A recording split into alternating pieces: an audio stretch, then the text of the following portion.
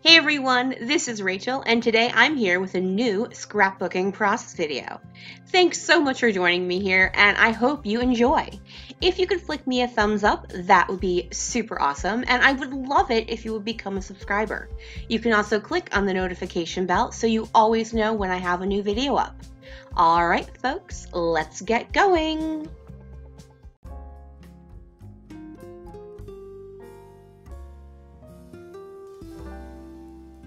Hey everyone, and welcome to the February episode of For the Love of Crafting and Sharing, a YouTube collaboration that is a bunch of different YouTubers, and every month we're doing a slightly different challenge. Last month it was just kind of showing you our style. This month we are scrap lifting. So we are a bunch of different YouTubers with all different styles and all different ways of scrapbooking, and this month we are showing our love for all all of the other crafters on YouTube, on the social medias and all of that, whether you are a Pinterest person or Instagram, no matter where you get your inspiration from online, we were told just find someone and uh, share the love. So for me, it was super simple because I fell in love with the layout last month from one of my fellow crafters and sharers, Scrapbook Quebec uh, did this really amazing graphic, uh, very nature themed layout from Iceland and I fell in love with it, which is hilarious because I am not a graphic scrapbooker. I love the look. I think it's gorgeous. I'm a huge, huge fan of Cathy Zielske, who for me is the queen of graphic designs. And I just don't scrapbook that way. so I was like, oh my gosh, I'm totally going to scrapbook this layout for February and it's probably going to look nothing like the actual original. And that's the really cool thing about scrap lifting. You can take an original idea or um, the way something looks on a big picture scale, but by bringing your own style and your own um, identity into it, sometimes it really doesn't even end up looking like the original layout at all. So I'm to go ahead and get you guys put on fast forward. Two things first. Number one, if you could flick me a thumbs up, that would be super awesome. Number two, please don't forget to go into the description box below and check out all the other ladies who are participating in the For the Love of Crafting and Sharing YouTube collaboration. All right, everyone, let's get going. I just wanted to mention I'm going to be working with Shimelle's box of crayons. Now, I don't have a lot of paper left, but what I do have left is quite usable for this layout. So I go ahead and grab a piece of white cardstock and because of my pattern paper, I really want to use those rainbows rather than the vertical strips of pattern paper that Scrapping Quebec had in her layout, I'm going to flip her layout and have those pieces of paper run horizontally. So I originally thought to, I was going to use that lime green paper with the dashes on it as my thin strip of paper, but I actually really love all of the branding strips that I've saved. Um, I've used other branding strips from this line in other layouts, but the I think it's four I have left. The multicolor polka dot, the love, love, love, the tiny red and white polka dot, and then the one with iguanas on it. um, I think I'm going to go ahead and use those. So this is... I have no idea what I was so excited about in that particular moment. Not even the slightest, but there you go. Um, so I've got the ones with the diagonal paintbrushes uh, of different sizes. And then what I'm going to do is trim down the white cardstock and then border my entire layout with this red cardstock. Now, Scrapping Quebec had done this as well. She just used black, and that's what gave her that very graphic, clean look versus what I'm doing, which is a lot more high energy just because of our photo choices and the stories we're going to tell. So just because you are scrap lifting someone doesn't mean you have to do a similar theme to them. You can scrap lift someone and look have the end look be completely different, and only the fact that I'm going to be using four photos uh, slightly piled on each other is really going to be what comes through with the scrap lift. Now I start to tape my white cardstock down, and this is a trick my pal Kelly O'Black does, where you tape down one side, then you get it down nicely, and then you tape down the other sides. And it works almost all the time, except when you realize you have not cut your paper even sided. So I had to go back and take a couple more um, millimeters off of one side of the piece of paper because I did not measure. I don't normally measure. So I was like, oh, sure, I actually do need to measure for this. So I end up with even redness around the entire layout.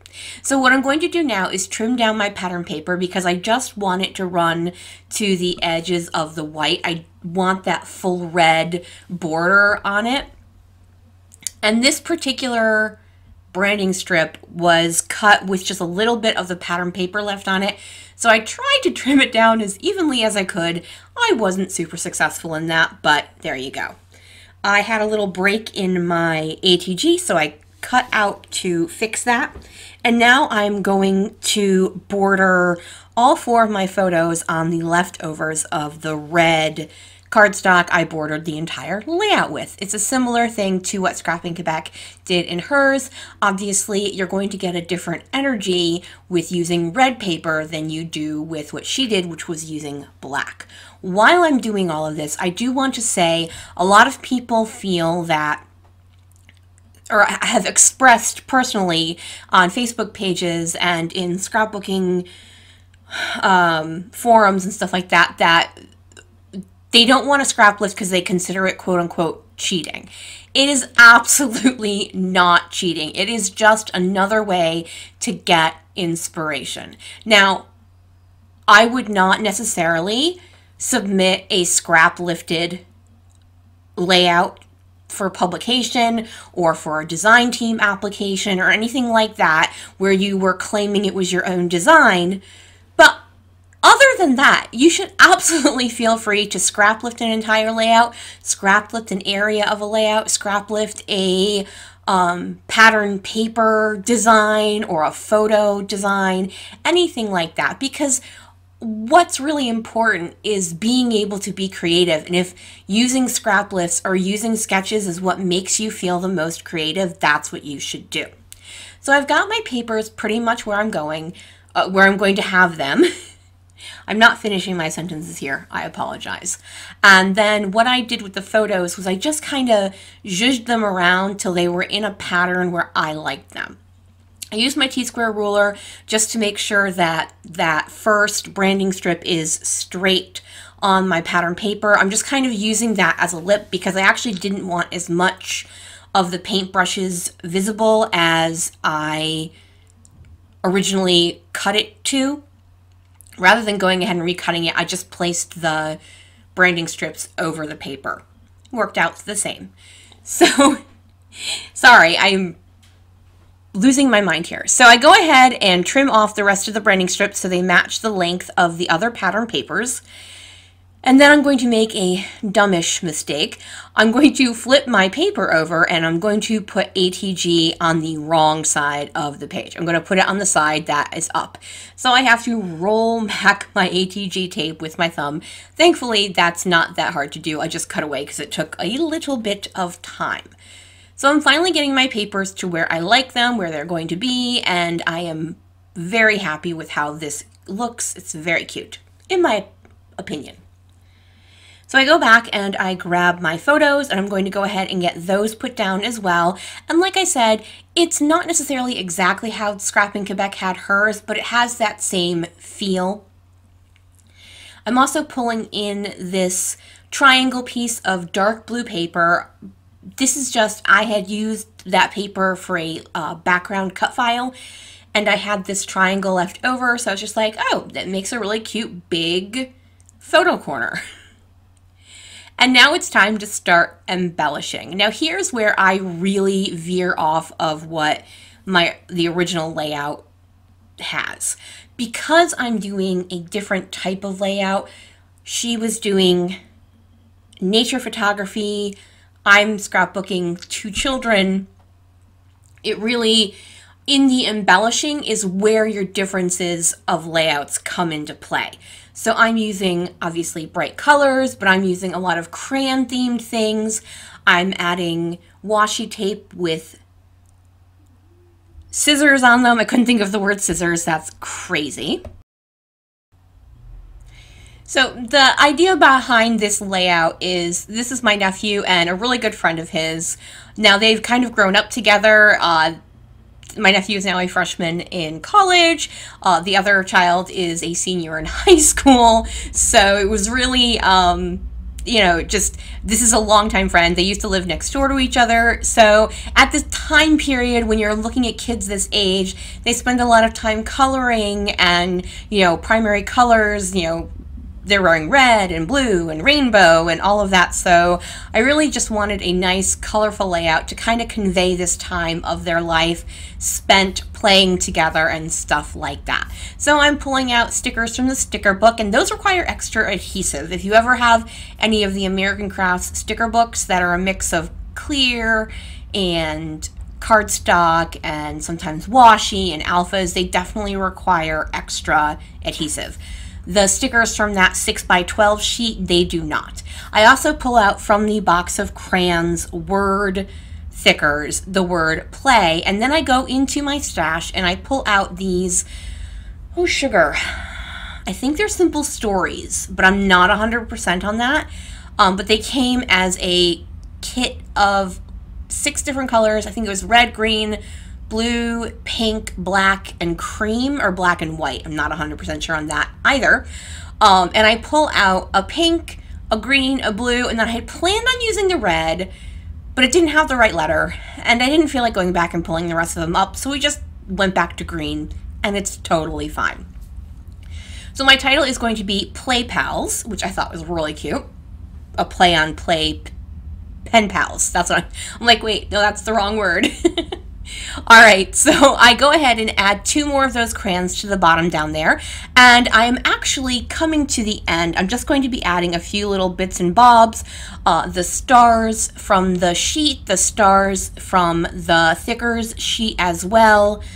And then I go back and I add a couple of toucans, which if you're thinking of a toucan as a bird, which, you know, obviously it is, and the iguanas, um, but I'm thinking more playful, colorful, and then also a play off of the word toucan, um, meaning two, like the number two, two can play, two can have fun, something like that. That's what was kind of running through my head.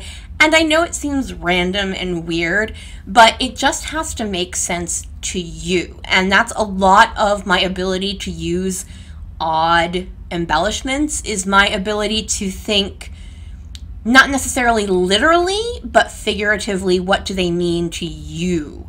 Um, whether it be that a sheep is soft and this is a soft layout, or a unicorn is, you know, imaginative and you're doing an imaginative layout or a layout about imagination or something like that. Oh, so I'm pointing out that I could not at that point in time find my slick writer, so I am going to do my journaling later. I have since found it, so I will go ahead and do that journaling. Uh, one thing I'm going to add, one last thing I'm going to add are some enamel dots, and I recently reorganized my enamel dots to be uh, by color on little index cards. So I'm going to use some red ones, some yellow ones, and some navy blue ones. And that will finish off my layout here. Make sure you go into the description box below, check out all the other people doing uh, the For the Love of Crafting and Sharing. Make sure you give them some love with some likes and some comments. If you'd like to give me some love with some likes and some comments, I would very much enjoy that. Thank you guys so much. Have a wonderful day, night, or morning, whatever it happens to be when you're watching this. Bye!